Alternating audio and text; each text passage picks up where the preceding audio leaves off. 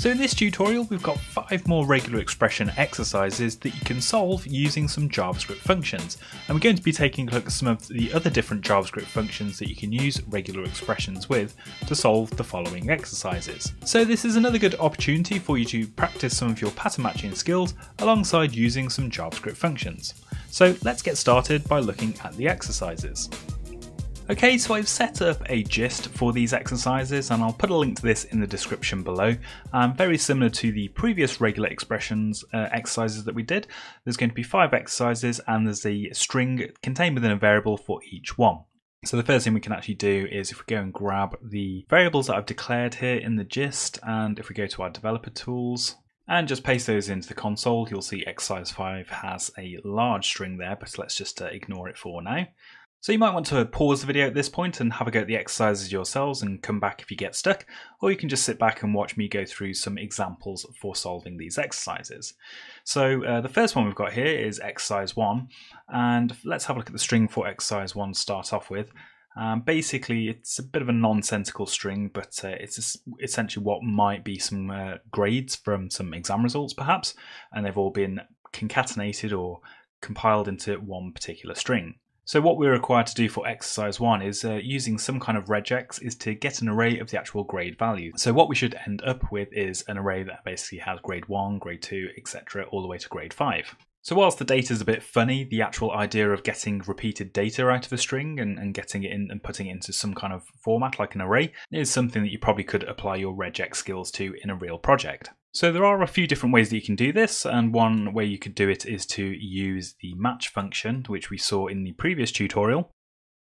And the idea really behind this exercise was to show you that you can actually match literal characters as well with inside a regex. So for example, I can just type in grade inside of our regex, and if I uh, put a global modifier on that, you can see it matches the five instances of the word grade inside of the string. So if we go back to the actual regex itself and we want to actually match the space and also the numerical character after it. So what we can do is use the special space regex control character, and also we can use the digit regex control character, or we could use the 0 to 9 character class as well. Of course, if there was anything else separating those grades in the strings, like a comma or a hyphen, then the regex would still work because it would just skip over those parts when it's doing its matching. Another approach that you can do with this exercise is to use the split function. So you've probably seen how the split function works with strings. For example, you can pass it in a whitespace character and it goes through the string looking for spaces and then splits it up and puts it into an array. But as you can see, it doesn't really give us the exact result that we were after in our example. But you can actually pass a regex into the split function as well. So if we go and grab the regex that we just used with our match function and pass it into split, it doesn't quite work as expected because we need to capture the pattern that we're actually uh, matching inside of our regular expression, uh, putting it into some parentheses that actually puts it into a capture group, and that will allow the split function to actually split the string and save those grades into the array. And we do end up with some empty strings in our array as well, so we'd need to filter those out. But just to show you, you can use a regular expression with the split function, which is handy if you're trying to split a string based on some kind of pattern. So that's a couple of solutions for exercise one. Let's take a look at exercise two. So exercise two is basically asking us to look at the string and using a regex determine whether or not it actually has a substring of the word agenda or age. So we have a look at the string for exercise 2 and you can see that it does actually indeed have the word agenda in there. So we should be getting a truthy value back. Now, you can use the match function and then just use some kind of Boolean logic to actually ensure that you're getting a truthy value back from your matches, but there's another function that you can use within JavaScript to test a regular expression to see whether or not the pattern matches the string that you're trying to perform it on. And that function, unsurprisingly, is called test and we need to call the test function on an actual regular expression itself. So you can construct a new object or you can use a regular expression literal as I'm going to do here. So for example, to test for the presence of age inside of the string, we can say the regular expression we're going to use is age. And then inside of the parentheses for the test function, we actually pass in the string that we want to test. And you can see we get a true value back. And if we were to put a value inside of our regular expression that doesn't exist, you can see that value then changes to false. So this exercise could actually be solved just by using this simple expression because by default, if you're actually testing for the word age, then it's a bit irrelevant whether agenda actually exists inside of the string anyway because the expression will always return true when it finds the first AGE inside of the agenda word. But just to show you what can be done with some optional matching, we could put the NDA characters, the rest of the word agenda, inside of a character class and then make that optional by putting a question mark after that character class. And you can see we still get a true value back.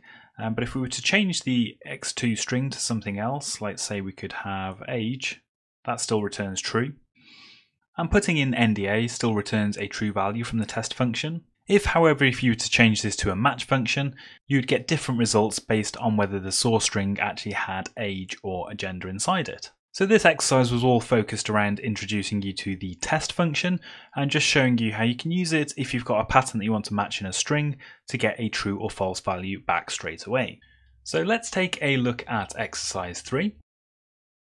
So exercise 3 is basically asking us to get an array of numbers that are contained within the string that's inside of our x3 variable. So as you can see, the x3 variable is still a string, but it has numbers inside it and they're separated via various symbols. So this is simply a case of matching a variable number of digits and then putting them into an array. So we can use the match function here. And we saw in the previous tutorial that you can use the digit character class and then you can do things like matching a range of numbers, so like between 1 and 3 for example. And that actually gives us the result that we need. However, what if the number of digits inside of each of those numbers becomes larger than 3?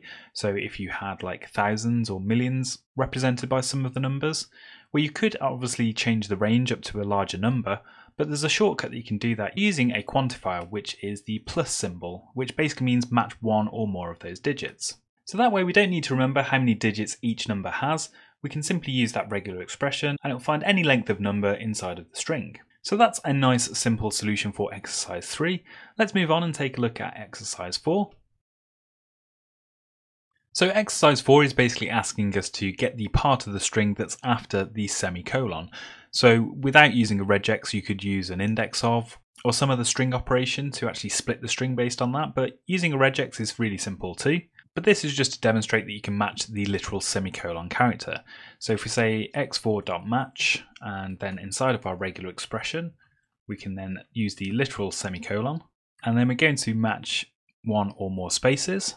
In the example string, there's only one space, but in reality, there could be multiple spaces before the data that we're trying to extract. And then to match any type of letter, we can use the backslash W for word boundaries. And again, we'll match one or more of those characters until we reach some other kind of character, like the end of the string or another space. So that works pretty well, but the only problem is in our output, in our matching group that we've got, the first element that we find, the actual match, has the semicolon and the space inside it. So what about if we just wanted to get the name that's matched here? Well, we can wrap our word boundary matching inside of some parentheses. And now if you examine the object that the match function returns to us, you can see that the item in position 1 is literally just what we put inside of our parentheses up there, which is matching the name that was inside of the string. So we can just access that by its property name. I don't need to include everything else that we matched with our regular expression. So using these type of matching groups is really useful, especially if you want to pick out bits of data from a particular string. So that's a possible solution for exercise 4. Let's take a look at the final exercise, which is exercise 5. So exercise 5 has a larger portion of text and we're basically being asked to find the number of contractions that are used inside of the string. So a contraction is something where the word has been abbreviated. So here we've got haven't instead of have not and here we've got I'd instead of I would. So we basically want to get a count of the number of contractions that are used. So using our string we'll use a matching function again and we're going to match the literal apostrophe character, which in this instance has been represented by a single quote. And then we're going to match some letters that would form part of the contraction, like D, S, T, or M. So for the examples that we looked at, I haven't would be matched here. So we've got the single quote, and then we've got the letter T, which we've matched here. And with I'd, we'd obviously match the apostrophe here, and then the D is matched inside of the character class. So there are other contractions that we should look out for as well. So we can optionally say with the pipe symbol. So then we'll look out for the apostrophe again. and then we'll look out for either an R, for example, for your. We might also want to look out for a VE as well for you've. So let's put another OR pipe in there and then check for a V. So this character class will look out for RE or VE. And you can see it comes back with five contractions. And of course, we could always access the length of the array that's returned to give us that number exactly. And there probably are some other contractions that we should put inside of our regular expression, but you can see the idea of how you can build up an optional match within your patterns by using the OR operator. All you need to know is that that pipe operator will make the character class to the left or the character class to the right an optional part of the pattern. So that's the solution for exercise 5 that you could use. And that brings us to the end of these regex exercises.